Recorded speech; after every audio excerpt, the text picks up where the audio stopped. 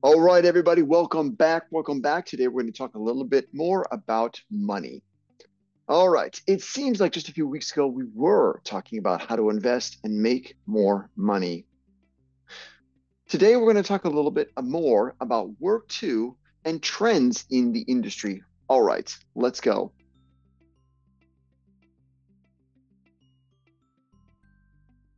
The first thing I want to talk about is working remotely. Yes, Working from home is great and allows us more autonomy over our lives.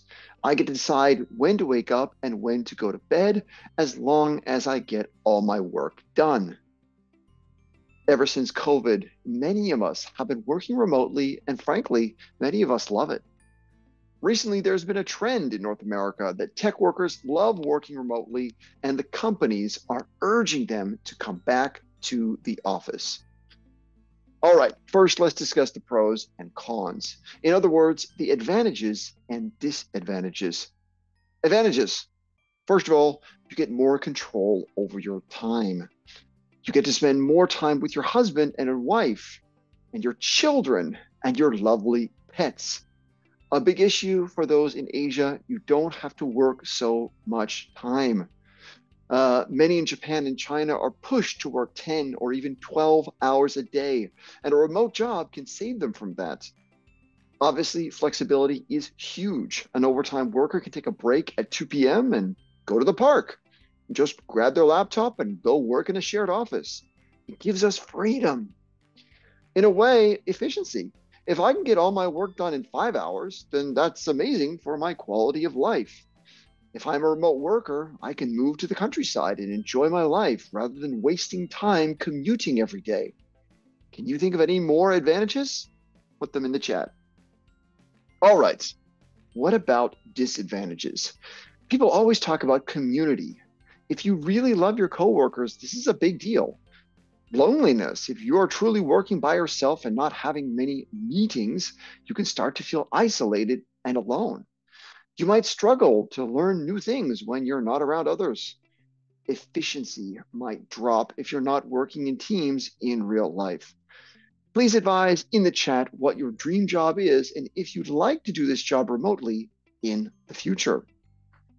One other interesting note I wanted to mention was that some remote workers are actually living in foreign countries and taking advantage of the different exchange rates. For example, if I live in Mexico, but my American company pays me in US dollars, I can save a ton of money. How might you use this trick in the future? Let's pause on that point for a little bit. What would be the disadvantage of me living in Mexico while getting paid in US dollars from an American company? Do you think Mexico would have any unforeseen costs or expenses? Perhaps there would be a safety issue, or perhaps I'd have to learn Spanish to operate. By the way, since so many people are working from their homes or apartments, what do you think is going to happen to offices in major cities like New York or Los Angeles? They're incredibly expensive, and if they're half empty, some companies might decide to get rid of them. An anecdote from Canada is in Toronto, where many offices are empty, and some are even selling the ownership of the building because it's not making enough money. Remember, many of the highest earners are techies, like software developers and designers who absolutely can work remotely. Moving on to another topic, I want to talk about rumors and office politics.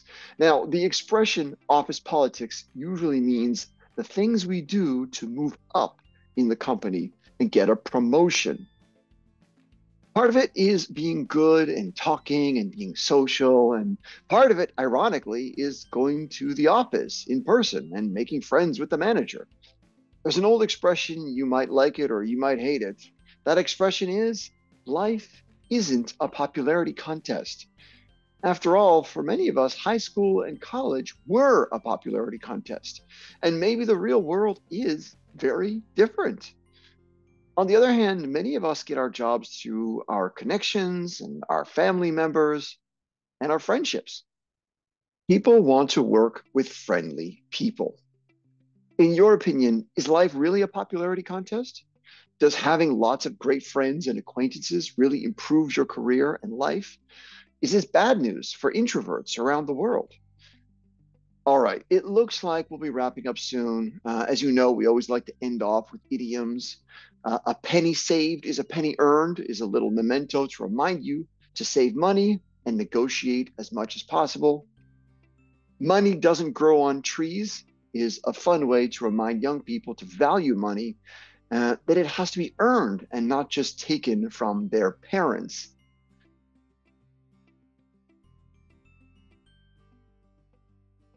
The first thing I want to talk about is working remotely.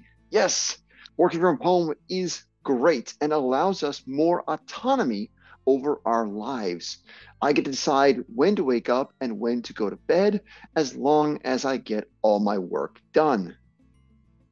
Ever since COVID, many of us have been working remotely, and frankly, many of us love it.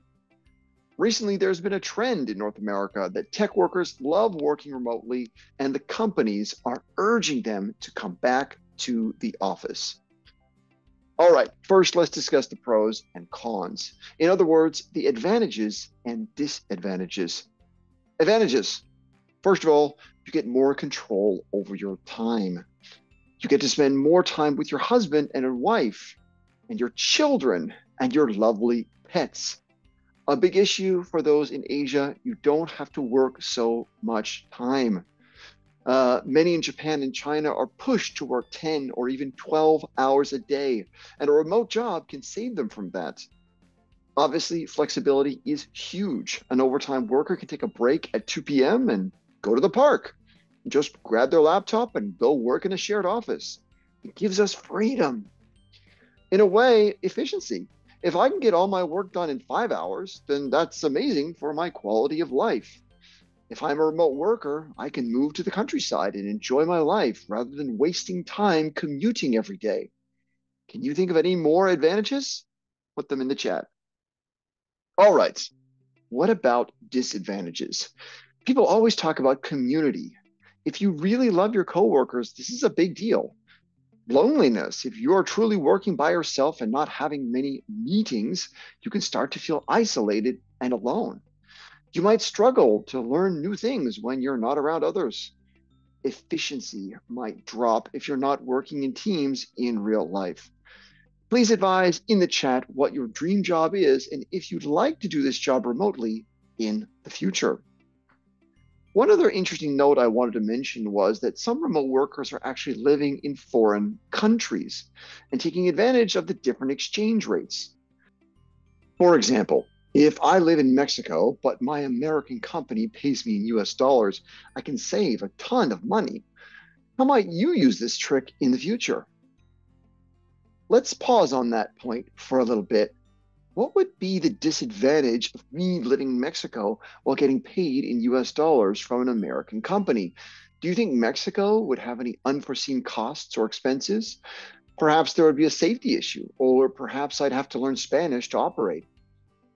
By the way, since so many people are working from their homes or apartments, what do you think is going to happen to offices in major cities like New York or Los Angeles? They're incredibly expensive, and if they're half empty, some companies might decide to get rid of them. An anecdote from Canada is in Toronto, where many offices are empty, and some are even selling the ownership of the building because it's not making enough money. Remember, many of the highest earners are techies, like software developers and designers who absolutely can work remotely.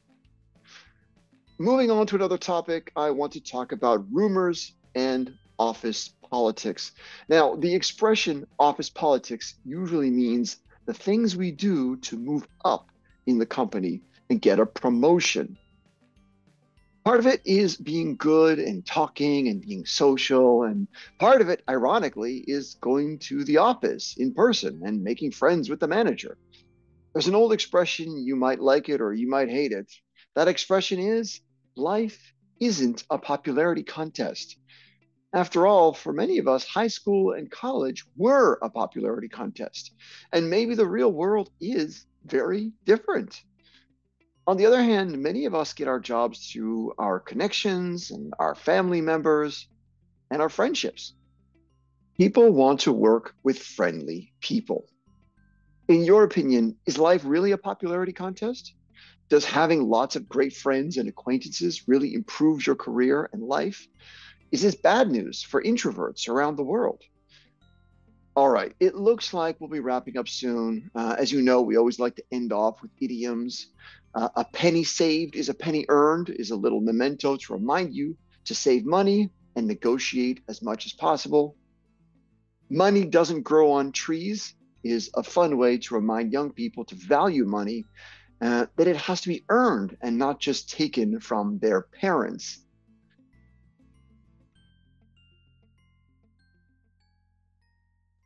All right, everybody. Have a wonderful weekend and enjoy the sun, everyone. Take care. Bye.